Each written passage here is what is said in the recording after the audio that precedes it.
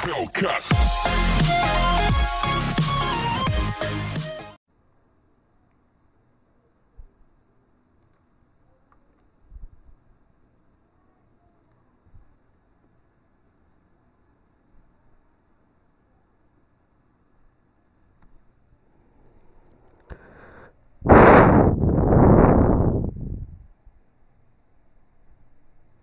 স্বাগতম computer hardware এবং networking ট্রেডে আমাদের আজকের আলোচনার টপিক মোবাইল কমিউনিকেশন এবং বিভিন্ন ধরনের নেটওয়ার্ক। আপনাদের সাথে আছে আমি Tarun Debnath, instructor, Bondhu computer training centre, Rajshahi থেকে।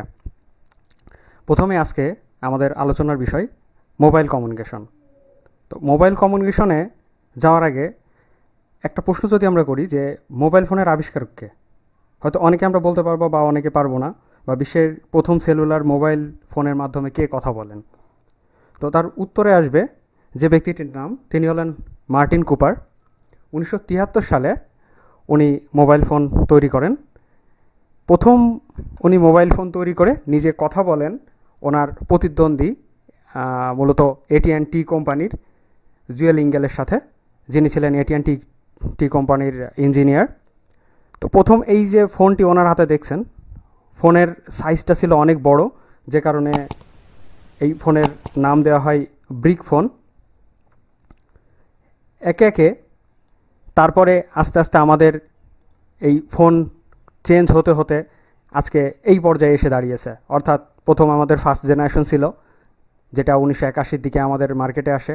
তারপর আমাদের একে একে second generation third generation fourth generation এবং বর্তমানে আমাদের ফোর্থ জেনারেশন চলছে। আস্তে আস্তে আমাদের ফিফথ জেনারেশনের দিকে আমরা এগুচ্ছি। তো এই মোবাইল তৈরি করতে গিয়ে উনি অনেক বাধা বিপত্তির সম্মুখীন হন। কারণ মোটরোলা কোম্পানি ছিল সে সময় অনেক ছোট একটা প্রতিষ্ঠান এবং এটিএনটি কোম্পানি ছিল অনেক বড় একটা প্রতিষ্ঠান। তো মোটরোলা চেয়েছিল যে প্রত্যেকের হাতে একটা ডিভাইস থাকবে, এমন একটা ডিভাইস যেটা দিয়ে যেটা মানুষের আইডেন্টিটি হবে এবং একসময় মানুষ এটাতে কথা বলবে, এইরকম একটা জাস্ট চিন্তাভাবনা থেকেই এবং ওয়্যারলেসলি বিশেষ করে তার ছাড়া কীভাবে কথা বলা যায়, এই বিষয়টা কিন্তু তিনি এনশিওর করতে চেয়েছিলেন। তো তার এই আবিষ্কারের ফলেই আজকে আমাদের ফোন পাওয়া মোবাইল ফোন বা বলি সেলুলার ফোন। তো মোবাইল ফোন বলার অর্থ হচ্ছে মোবাইল। মোবাইল শব্দের অর্থ এখানে হচ্ছে চলমান। অর্থাৎ আপনি হাতে করে নিয়ে ঘুরে বেড়াতে বেড়াতে যে ফোনে আপনি কথা বলতে পারবেন সেটি হলো আমাদের মোবাইল ফোন। এরপর আসছে আমাদের সেলুলার যেটা ফোন, আমরা বলছি মোবাইল ফোনের আরেকটা নাম সেলুলার ফোন। আসলে মোবাইল ফোনগুলো মূলত কাজ করে একটা সেল বেসড, অর্থাৎ একটা রিজিয়ন বেসড। আমরা একটু পরে দেখব যে মোবাইল সেল বা দেখা যাচ্ছে কমিউনিকেশন সেল কি এবং সেই জায়গা থেকে আসলে কিন্তু মূলত আমাদের সেলুলার ফোনের নামকরণ করা হয়েছে। তো প্রথমে দেখি যে মোবাইল কমিউনিকেশনে কীভাবে আমাদের কাজ করে মোবাইল কমিউনিকেশনটি। তো ফার্স্টে আসছে আমাদের মোবাইল কমিউনিকেশনে অ্যানালগ সিগন্যাল থেকে প্রথমে আমাদের ডিজিটাল সিগনালে কনভার্সন আছে ক্ষেত্রে তো প্রথমে আমাদের যেটা আমরা মোবাইল সিগন্যাল পাই, আমরা সেটা হচ্ছে অ্যানালগ সিগন্যাল আমরা যখন কথা বলছি যে আমরা কথা বলছি মোবাইলে আমি যদি আমার ফ্রেন্ডের সাথে কথা বলছি, দেখেন উনি কথা বলছে, তো ওনার যে ফোনের যে মাইক্রোফোন আছে, সেই মাইক্রোফোনে কিন্তু একটা অ্যানালগ সিগন্যাল কিন্তু ইনপুট হয়। তো এই অ্যানালগ সিগন্যালকে পরবর্তীতে কনভার্সন হয় কনভার্ট হয়ে আমাদের ডিজিটাল সিগন্যালে কনভার্ট করে, অতঃপর এই ডিজিটাল সিগন্যাল ডিজিটাল সিগনালের প্যাটার্নটা কিন্তু আমাদের বিট প্যাটার্ন যদি আমরা ধরি, তাহলে বিট প্যাটার্নটা আমাদের এই ধরনের one zero one zero one zero বা zero one one one one something এই এই টাইপের আমাদের ডিজিটাল সিগন্যালের একটা কম্বিনেশন হয়। এরপর এই যে ডিজিটাল সিগনালটা আছে, এই ডিজিটাল সিগনালের একটা মেজর লিমিটেশন হচ্ছে, এ কিন্তু বেশি দূর পর্যন্ত ট্রাভেল করতে পারে না। কিন্তু আমাদের তো অনেক লং ডিস্টেন্সে কমিউনিকেশন করার দরকার। সাসেস আমি এখানে বসে আমার ফ্রেন্ড আছে ঢাকাতে, তার সাথে কথা বলছি। তাহলে সেই ক্ষেত্রে কীভাবে আমরা কমিউনিকেশন করে থাকি? তো এই ক্ষেত্রে অবশ্যই আমাদের একটা অ্যানালগ সিগন্যালের আবার প্রয়োজন হবে। অর্থাৎ ডিজিটাল সিগন্যালকে আবার আমরা অ্যানালগ সিগন্যালে কনভার্ট করব। কিন্তু এইবার যে অ্যানালগ সিগন্যালটা ব্যবহার করব, অর্থাৎ আগে যে অ্যানালগ সিগন্যালটা এই যে আমাদের ছিল, এইটার যে আমাদের ফ্রিকোয়েন্সি কম বা সাউন্ড কম, এইবার যে সিগন্যালটা ব্যবহার করব, সেটা সাউন্ড কিন্তু আমাদের অনেক বেশি হবে, অনেক হাই পাওয়ার থাকবে। এই ধরনের সিগন্যাল কিন্তু আমরা কনভার্ট করব। তো এখন আসি। তো এই যে আমাদের প্রথমেই one zero one zero signal পাইলাম, ওই ওয়ান জিরো সিগনালকে আমাদের কনভার্ট করতে হবে। এই ক্ষেত্রে আমাদের একটা সিগন্যালের আমাদের কয়েকটা প্রপার্টিস থাকে, যেমন সিগন্যালের অ্যাম্পলিটিউড থাকে ফ্রিকোয়েন্সি থাকে সিগন্যালের ফেজ থাকে। তো এই যে বেশ তিনটা আমাদের প্রপার্টিস বললাম মেজর তিনটা প্রপার্টিস অ্যাম্পলিটিউড ফ্রিকোয়েন্সি এবং তার উপরে ভিত্তি করে এই সিগনালকে আমাদের কনভার্ট করা হয়। অর্থাৎ কালকে আমরা যেটা দেখছিলাম মডুলেশন টেকনিক এই ধরনের আমাদের কনভার্ট করা হয়। তো কনভার্ট করার পরে আমরা অ্যানাদার একটা সিগন্যাল পাই এবং যে সিগন্যালটাকে আমরা এই যে ফোনের উপরের দিকে আমাদের অ্যান্টিনা থাকে, আপনারা যদি আগের ফোনগুলো দেখে থাকবেন তাহলে দেখবেন যে সেই ফোনের অ্যান্টিনাগুলো অনেক লম্বা ছিল। তো এই অ্যান্টিনাগুলো আস্তে আস্তে ধীরে ধীরে ছোটো হতে হতে এখন কিন্তু অ্যান্টিনাগুলো দেখাই যায় না, অর্থাৎ ফোনের মধ্যেই বিল্ট ইন হয়ে গেছে। তো এই অ্যান্টিনাগুলো থেকে আমাদের ইলেকট্রোম্যাগনেটিক ওয়েভ জেনারেট হয় এবং ইলেকট্রোম্যাগনেটিক ওয়েভটা পরবর্তীতে জেনারেট হয়ে আমাদের, এখান থেকে আমাদের ফোন থেকে আমাদের মোবাইল যে বেজ স্টেশন আছে বেজ স্টেশনে চলে যায়। এরপর আমাদের মোবাইল কমিউনিকেশনে আমাদের মোবাইল টাওয়ারগুলো আবার কীভাবে কমিউনিকেশন করে? তো একটু দেখি যে কমিউনিকেশন সেলগুলো বা আমরা যে বলি যে সেলুলার ফোন, অর্থাৎ সেলুলার ফোন বলার অর্থ হচ্ছে এটা একটা সেল বেসড রিজিয়নে কাজ করে। এই হলো আমাদের একটা সেল কমিউনিকেশন একটা সেল। তো এই সেলের প্রত্যেকটা সেলের কেন্দ্রে থাকে একটা আমাদের মোবাইল টাওয়ার এই দেখেন এখানে কতগুলো টাওয়ার রয়েছে, অনেকগুলো টাওয়ার রয়েছে। তো এই যে সেন্টারে থেকে আমাদের এই যে সেলুলার ফোনগুলো আমাদের কমিউনিকেশন করছে, এইভাবে কিন্তু আমাদের একের পর এক কিন্তু মনে করেন যে অনেকগুলো আমাদের মোবাইল টাওয়ারগুলো কিন্তু নিজেরা নিজেদের মধ্যে রিলেটেড থাকে। তো একটা প্রশ্ন জাগতেই পারে যে এই যে একটা ছয় বা ষড়ভুজ আকৃতির একটা আমাদের স্ট্রাকচার তৈরি হয়েছে। কেন ষড়ভুজ আকৃতির? আমরা তো অন্য কোনো আকৃতির হতে পারতো। হতে পারতো ত্রিভুজ, হতে পারতো হতে পারতো আপনার হচ্ছে যে সার্কেল হতে পারতো বা হতে পারতো আপনার স্কোয়ার হতে পারতো। তো কেন সেটা না হয়ে এই ষড়ভুজই হলো? তো এর কারণ হচ্ছে আমি প্রত্যেকটা ক্ষেত্রে আলাদা আলাদা ভাবি। যদি আপনি ত্রিভুজ তৈরি করেন, তো মনে করেন যে এই আপনার এখানে একটা ত্রিভুজ আছে, এই একটা ত্রিভুজ আছে, তো এই ত্রিভুজের একেবারে সেন্টারে যদি আপনি দেন, তাহলে সেন্টার থেকে এই পাশেই যতটা আপনার এনার্জিতে সিগন্যালটা রিসিভ করতে পারবে, ঠিক এখান থেকে কিন্তু একেবারে কর্নারে অর্থাৎ ত্রিভুজের দুইটা বিন্দু যে জায়গায় মিলছে, সেই জায়গায় কিন্তু আপনার, সেই জায়গা থেকে সেন্টারের যে দূরত্ব অনেক বেশি হয়ে যাবে। যে কারণে আমাদের কিন্তু কমিউনিকেশন কিন্তু একটা মিসম্যাচ হবে, বিশাল আকৃতির একটা মিসম্যাচ হবে, যে কারণে ওই ত্রিভুজ আকৃতির শেপটা করা হয় না। আমরা যদি চিন্তা করি যে এটা তো আমাদের রাউন্ডও হতে পারতো তো গোল হতে পারতো। তাহলে গোল হলে সেক্ষেত্রে আমাদের কি সমস্যা হতো? আমাদের রাউন্ড হতো, এখানে রাউন্ড হতো, এখানে একটা রাউন্ড আর এখানে একটা রাউন্ড আপনি খেয়াল করে দেখেন, তিনটা মার্বেল যদি পাশাপাশি থাকে এবং তিনটা মার্বেলের মধ্যে কিন্তু একটা ফাঁকা স্পেস থাকে, তাহলে এই ফাঁকা স্পেসটা তৈরি হতো। এই ফাঁকা স্পেসে যদি কোনো ব্যক্তি তার ফোন কমিউনিকেশন করতে চাইতো বা ফোন থেকে কথা বলতে চাইতো, তাহলে কিন্তু সে তখন সেটা পারতো না। যে কারণে আমাদের এই মাঝে যে আমাদের রাউন্ড শেপটা কিন্তু আমরা কিন্তু অ্যাকসেপ্ট করতে পারিনি।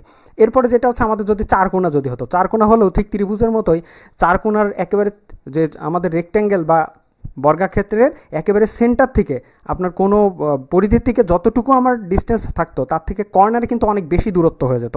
যে কারণে আমরা ওইটাও ব্যবহার করতে পারিনি। এই জন্যই আমাদের এই কমিউনিকেশন সেলের আকৃতি এরকম। আপনারা বিভিন্ন হলিউড মুভিতে দেখে থাকবেন যে বিভিন্ন ধরনের কমিউনিকেশন সেলগুলো যখন দেখায়, তখন কিন্তু এই ধরনের ষষ্ঠ আকৃতির কিন্তু আমাদের কমিউনিকেশন সেলগুলো হয়। তো এই কারণে মূলত আমাদের সর আকৃতির কমিউনিকেশন সেলগুলো হয়।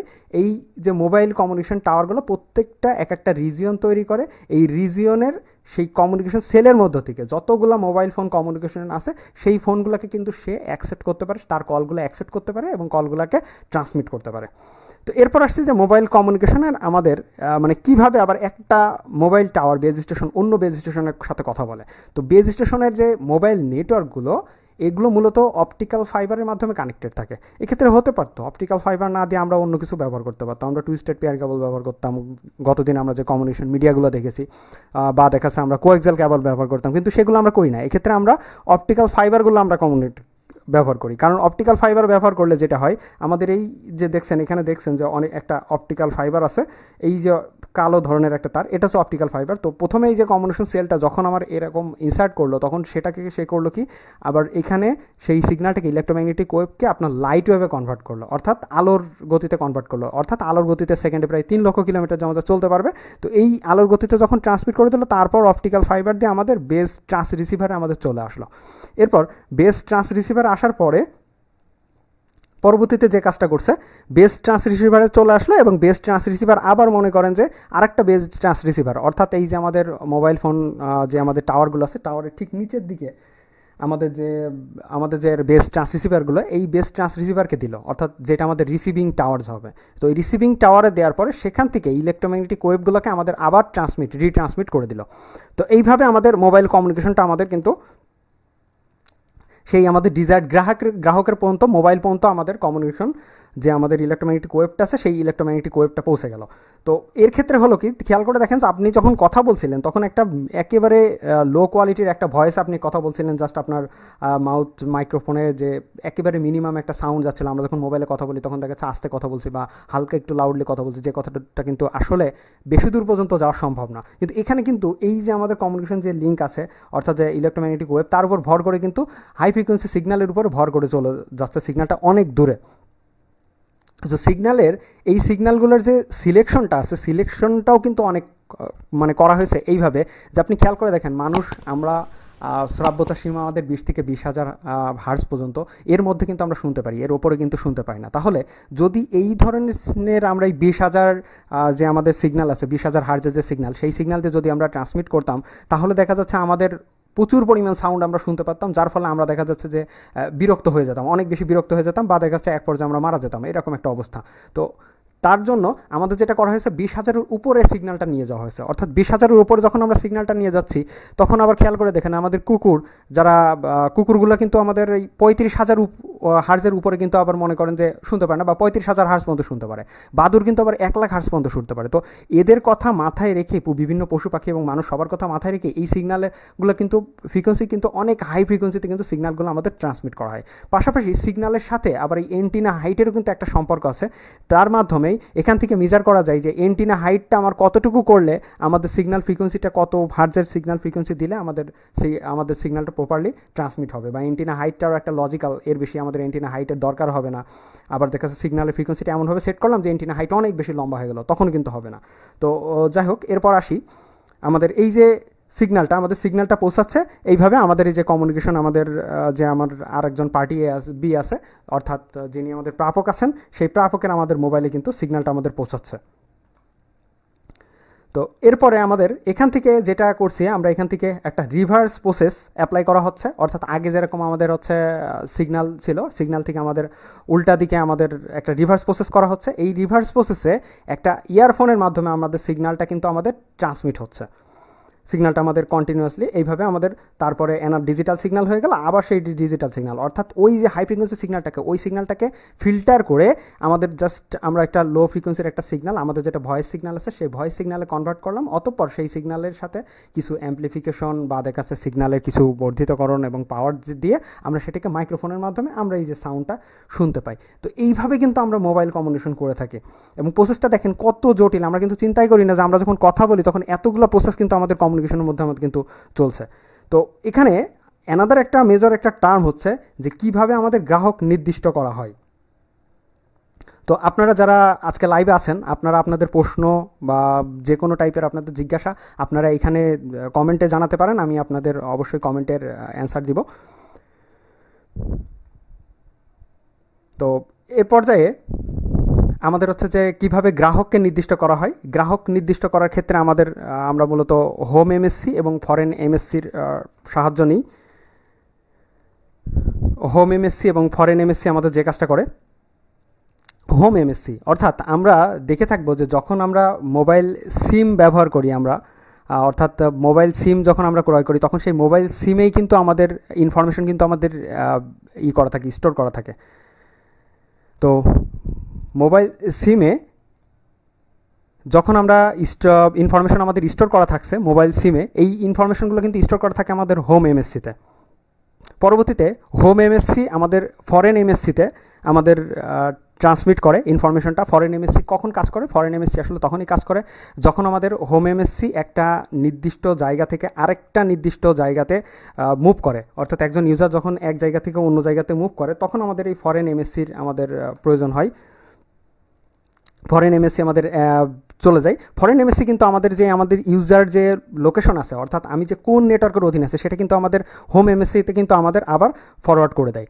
তো এইভাবে আমাদের ফরেন এমএসসিগুলো আমাদের কাজ করে। তো এর পরবর্তীতে আসছে আমাদের কীভাবে আমরা গ্রাহককে নির্দিষ্ট করছি। খেয়াল করে দেখেন মানে টোটাল সিনারিওটা আমি এখানে বলছি। টোটাল সিনারিওটা এইভাবে কাজ করে যে মিস্টার এ আছে মিস্টার এ আমাদের কথা বলছে। এর জন্য একটা অবশ্য হোম এমএসসি থাকবে। সেক্ষেত্রে মিস্টার এ যে হোম এমএসসি আছে, সেই হোম এমএসসিটাকে নিয়ে আমাদের মিস্টার বি এর যে হোম এমএসসি আছে, এখানে আসল প্রকৃত অর্থে মিস্টার বি এর হোম এমএসসি হবে। তো মিস্টার বি এর যে হোম এমএসসি আছে মিস্টার বি এর হোম এমএসসিতে সেটা ফরওয়ার্ড করে।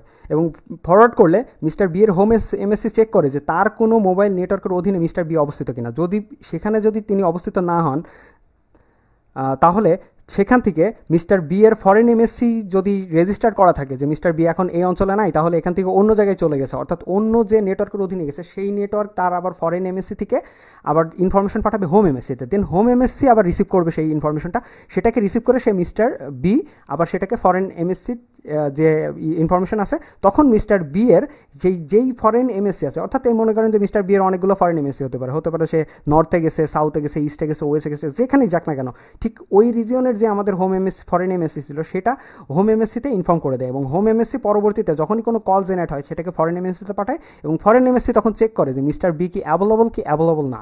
যদি মিস্টার বি এর ফোনে ফোন দেখা যাচ্ছে অলরেডি সে এঙ্গেজড বা দেখা যাচ্ছে ফোন নেটওয়ার্কে সে বাইরে আছে, যদি এইরকম কোনো সিচুয়েশন যদি তৈরি হয়, তাহলে সেই ক্ষেত্রে মিস্টার বি তখন আমাদের ওই যে ফরেন এমএমএসসি আছে, মিস্টার বি সেই ফরেন এমএসসি থেকে আমাদের কমিউনিকেশন করতে পারে মিস্টার এ এর সাথে। তো এইভাবে কিন্তু আমাদের মিস্টার এ এবং বি এর মধ্যে আমাদের টোটাল যে কমিউনিকেশন সিস্টেমটা আছে সেই কমিউনিকেশন সিস্টেমটা এস্টাবলিশড হয়। তো এরপরে এইভাবে আমাদের টোটাল কমিউনিকেশন সিস্টেমটা করা হয়। এক্ষেত্রে আরও বেশ কয়েকটা বিষয় আছে, সেটা মনে করেন যে আপনার একটা মোবাইল টাওয়ারের অধীনে আপনি কথা বলছেন, সেখানে আমাদের অনেকগুলো ইউজার আছে, ধরেন পাঁচ হাজার ইউজার আছে। এখন কীভাবে নির্দিষ্ট করা হবে যে আমি ওই ব্যক্তিকে চাচ্ছি জাস্ট আমার ওই ব্যক্তিকে দরকার, সেই ক্ষেত্রে আপনি তার সাথে কমিউনিকেশন করতে পারছেন। এই যে টোটাল প্রসেস এখানেও কিন্তু অনেক ধরনের টেকনিক অ্যাপ্লাই করা হয়, সেটা হচ্ছে মাল্টিপল অ্যাক্সেস টেকনিক ব্যবহার ব্যবহার করা হয়, বিভিন্ন ধরনের মডুলেশন টেকনিক ব্যবহার করা হয়ে থাকে।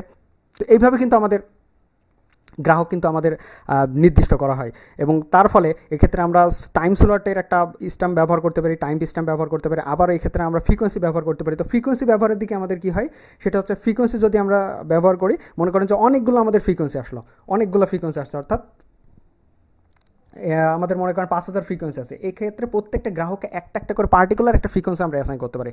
আবার দেখা যাচ্ছে আমাদের এমন হলো যে একটা পার্টিকুলার ফ্রিকোয়েন্সি না, আমরা দেখা যাচ্ছে অনেকগুলো টাইম স্ট্যাম্প ব্যবহার করতে পারি। অর্থাৎ আমার যে প্রথম যে এক মিলি সেকেন্ড বা দুই মিলি সেকেন্ড সেটা আমরা একজন ইউজারের জন্য দিচ্ছি, দ্বিতীয় বেজ আবার দুই বা তিন মিলি সেকেন্ড সেটা দেখা যাচ্ছে আমাদের আরেকজন ইউজারের জন্য দিচ্ছি। এইভাবে কিন্তু আমরা কমিউনিকেশন কিন্তু তাদের ক্ষেত্রে অনেককে আমরা সার্ভ করতে পারব। অর্থাৎ প্রথম যদি এক মিলি সেকেন্ড আমার জন্য অ্যাসাইন করা হয়, পরবর্তীতে আবার এক সেকেন্ড পুরো ঘুরে এসে সেই আবার ওয়ান মিলি সেকেন্ড কিন্তু আমার জন্য আবার অ্যাসাইন করা হবে। তো, এইভাবে আমাদের গ্রাহক নির্দিষ্ট করা হয়। তো এখন আসছি নেটওয়ার্ক নেটওয়ার্কিং নোড যখন একসাথে যুক্ত হয়ে তথ্য আদান প্রদান করতে থাকে, তখন তাকে নেটওয়ার্ক বলে। অর্থাৎ আমাদের, আমরা বলছি এই যে আমরা নেটওয়ার্ক বলছি, তো খেয়াল করে দেখেন এই নেটওয়ার্কে কিন্তু আমাদের, আমরা যে মোবাইল নেটওয়ার্কের কথা বললাম, সেক্ষেত্রেও কিন্তু আমাদের নেটওয়ার্ক কিন্তু আমাদের একটা নোড তো এই যে আমাদের মোবাইল নেটওয়ার্ক আছে, সেক্ষেত্রে আমাদের মোবাইল যে নেটওয়ার্ক আছে, সেখানে প্রত্যেকটা নোটগুলো কিন্তু নিজেরা নিজেদের ভিতরে কমিউনিকেশন করে আমাদের ইনফরমেশন কিন্তু আদান প্রদান করতে পারছে। তো একটা কম্পিউটার নেটওয়ার্কের হতে পারে, একটা নোড হতে পারে, একটা কম্পিউটার হতে পারে, একটা প্রিন্টার হতে পারে, অথবা যে কোনো নেটওয়ার্ক ডিভাইস হতে পারে, যা ডাটা আদান প্রদান কিংবা গ্রহণ করতে সক্ষম। তো এবার দেখি যে নেটওয়ার্কের প্রকারভেদ, কত টাইপের আমাদের নেটওয়ার্কের প্রকারভেদ আছে? তো নেটওয়ার্কের প্রকারভেদ মূলত আমাদের অনেক টাইপের আমাদের নেটওয়ার্কের আমাদের প্রকারভেদ রয়েছে। যেমন আমাদের প্রাইভেট নেটওয়ার্ক প্রাইভেট নেটওয়ার্কে যেটা আছে, আমাদের এটা হচ্ছে আমাদের মালিকানা অনুসারে যখন আমরা সিলেক্ট করে থাকি, তখন সেটা হচ্ছে আমাদের প্রাইভেট নেটওয়ার্ক হতে পারে এবং পাবলিক নেটওয়ার্ক হতে পারে। তো প্রাইভেট নেটওয়ার্কে যেটা হচ্ছে আমাদের, সেটা হচ্ছে আমাদের আইপি অ্যাড্রেস আর আইপি অ্যাড্রেসের আর্কিটেকচার অনুসারে আমাদের প্রাইভেট নেটওয়ার্ক করা হয় এবং এই ক্ষেত্রে আইপি ভার্সন ফোর এবং আরপি আইপি ভার্সন ফাইভ যেটা আছে সিক্স সরি আইপি ভার্সন যেটা সিক্স আছে, অর্থাৎ এখানে আমাদের কিন্তু অকটেট আছে। আমরা নেক্সট ক্লাসে দেখব যে IP version four IP version six এইগুলোকে আসলে মূলত কীরকম বা এদের স্ট্রাকচার কীরকম তো এটা আমরা দেখব এবং এই ক্ষেত্রে আমাদের আইপি ভার্সন ফোর এবং সিক্স প্রাইভেট আইপি রেঞ্জ নির্ধারণ করে। এই নেটওয়ার্কে চাইলে যে কেউ অ্যাক্সেস করতে সহজে অ্যাক্সেস করতে পারে না। অন্যদিকে আমাদের যে পাবলিক নেটওয়ার্ক আছে পাবলিক নেটওয়ার্ক হলো একটি সার্বজনীন নেটওয়ার্ক যে নেটওয়ার্কে যে কেউ অ্যাক্সেস করতে পারে। তো অবভিয়াসলি বলতে পারছি যে প্রাইভেট নেটওয়ার্কে যেহেতু সবাই ইজিলি অ্যাক্সেস করতে পারে না, তাই প্রাইভেট নেটওয়ার্কের প্রাইভেসি অনেক বেশি থাকে, অর্থাৎ নিরাপত্তা অনেক বেশি থাকে, আর পাবলিক নেটওয়ার্কের নিরাপত্তা আমাদের কম থাকে। তুলনামূলক আমাদের যারা তথ্য ব্যবহারকারী আছেন, তাদের ঝুঁকিটা একটু বেশি থাকে। এবং এ সকল যে নেটওয়ার্কের ক্ষেত্রে, এটা একটা সার্বজনীন নেটওয়ার্ক এবং যে কোনো পাবলিক অ্যাড্রেস দ্বারা গঠিত গঠিত হয়। ফলে ইন্টারনেটে সংযুক্ত যে কেউ এই নেট অ্যাক্সেস করতে পারে। এ সকল নেটওয়ার্ক ব্যবহার করার জন্য আমাদের কিছু নিয়ম, নীতি নির্ধারণ অনুসরণ করা হয়। নিয়ম, নীতি অনুসরণ করা হয়।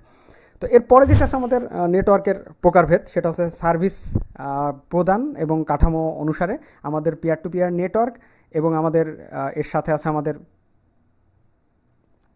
ক্লায়েন্ট সার্ভার নেটওয়ার্ক তো ক্লায়েন্ট সার্ভার নেটওয়ার্ক এবং পিয়ার টু পিয়ার নেটওয়ার্কে যেটা করা হয়, যে নেটওয়ার্কে আমাদের প্রতিটা কম্পিউটার যে নেটওয়ার্কের প্রতিটা কম্পিউটার আমাদের রিসোর্স শেয়ারের ক্ষেত্রে সমান ভূমিকা পালন করে। অর্থাৎ মনে করেন যে এখানে কোনো সার্ভার থাকবে না, এখানে কোনো ক্লায়েন্ট থাকবে না। অর্থাৎ চার পাঁচটা কম্পিউটার নিয়ে একটা আমরা পেয়ার টু পেয়ার নেটওয়ার্ক তৈরি করতে পারি এবং এই নেটওয়ার্কগুলোর নিজেদের কোনো ডেডিকেটেড সার্ভার থাকে না, ফলে পিসির মধ্যে নিজেরা নিজেদের মধ্যে কমিউনিকেশন করতে থাকে এবং গুরুত্বের দিক দিয়ে সবাই সমান, সব পিসেই ক্লায়েন্ট সার্ভার হিসেবে কাজ করে থাকে। ক্লায়েন্ট সার্ভার নেটওয়ার্কের ক্ষেত্রে আমরা যদি চিন্তা করি আগে পিয়ার টু পিয়ার নেটওয়ার্কে খেয়াল করে দেখেন যে প্রত্যেকটা পিসি কিন্তু নিজেরা নিজেদের সাথে কমিউনিকেশন করতে পারছে। অর্থাৎ যখন আমার ইনফরমেশন দরকার হচ্ছে, কেউ সার্ভার আকারে ইনফরমেশন পাঠাতে পারছে, কেউ আবার মনে করেন যে আমার ক্লায়েন্ট হিসেবে রিসিভ করতে পারছে, এইরকম একটা অবস্থা পিয়ার টু পিয়ার নেটওয়ার্ক অর্থাৎ কেউ নির্দিষ্ট না, অর্থাৎ যার যার রিসোর্স সে এসে শেয়ার করতে পারে। এবার ক্লায়েন্ট সার্ভারের ক্ষেত্রে দেখেন যে সার্ভার ক্লায়েন্ট সার্ভার কীভাবে কাজ করে? যে প্রথমে ক্লায়েন্ট একটা রিকোয়েস্ট করবে যে আমার এই ইনফরমেশনটা দরকার দেন সার্ভার সেটা তাকে দেবে। দেন ক্লায়েন্ট আবার বলবে হ্যাঁ আমি ইনফরমেশনটা পেয়েছি। তো এইভাবে কিন্তু ক্লায়েন্ট সার্ভারের ভিতরে আমাদের কমিউনিকেশনগুলো চলে। তো এই সার্ভিসের সময়ের মূল্যর প্রধান হচ্ছে file print message database application ইত্যাদি। এই এই ধরনের ক্লায়েন্ট সার্ভার নেটওয়ার্কে আমাদের কাজ করে থাকে।